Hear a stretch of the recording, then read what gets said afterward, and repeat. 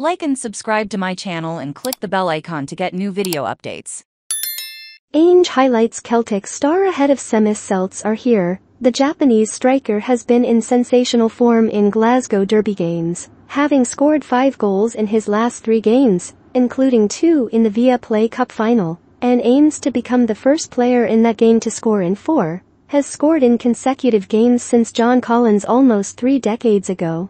Dot Post Ek is confident Kentucky Ogo will give his all for the team, and while he can t guarantee a goal, he is confident the forward will blow his socks off, will hit to give the team a chance to win. What you did before, has very little bearing on what happens on Sunday. What matters is that we go out there and play our football and that's what Kyogo did. Whether he scored or not. People used to say he went so many games without a goal, so that doesn't he really change anything. That's what we tried to focus on. He is working himself out for the team the Sox. He is constantly putting himself in areas where he can threaten the opposition. And he will do that at the weekend. Whether that manifests in goals for himself or that we get points because of his work. I am sure he'll reach that level. If the goals come, then great. But I have no doubts about what he will do in terms of performance.